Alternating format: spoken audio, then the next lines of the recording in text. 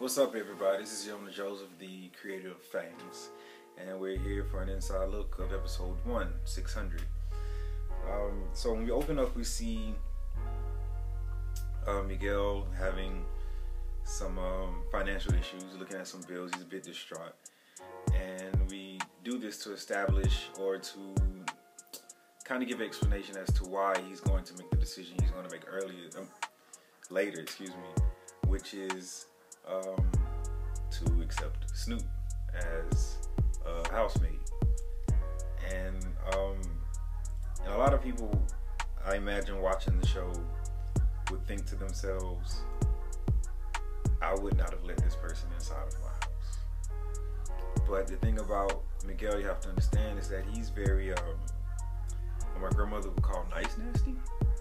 You have someone who puts on a smile and they try to be kind and nice, but it, it's all a facade, you know. Um, so he has no intentions of letting Snoop live with him, and um, but so that's why he he goes through the whole motion of showing the house and everything. And this is important because when he opens the door, you see Snoop and you see the distinctive differences between the two. Snoop is very sincere. This is what you what you see is what you get type of individual, whereas Miguel is he's he's more calculating. Not to say that Snoop isn't, but he plays the role well of being the the nice, polite, kind person, even if he doesn't mean it. So there's that, that first distinction of the two of them. And um, so before Snoop comes in, Miguel stops him and he tells him to put the plastic covers over your, your shoes before walking in. Takes his temperature and he writes it down. He tells him to put on the gel and then he gives him the tour and he get to the, the living room where the TV and the music and everything is and he's like no loud music after 10. This is important because while Snoop seems like this stereotypical bad boy, African American, hood type individual, um, and while he may have some of that in him, he's not without his his values.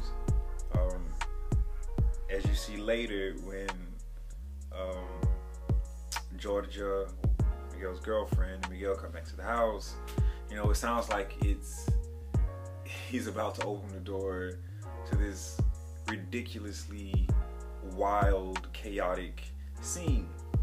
And, you know, Snoop opens, and even though what he does is absurd, which is pointing the thermometer at their heads like a gun to take the temperature, he's indeed, in fact, excuse me, following Miguel's house rules. He takes the temperature, he writes it down, he has everyone wear the shoe covers around their shoes and for some of them on top of their heads.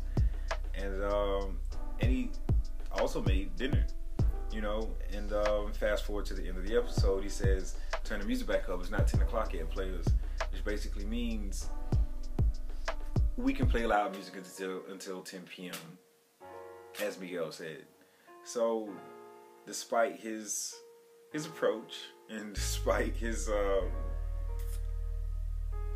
his confidence, he still respects people's boundaries, more or less.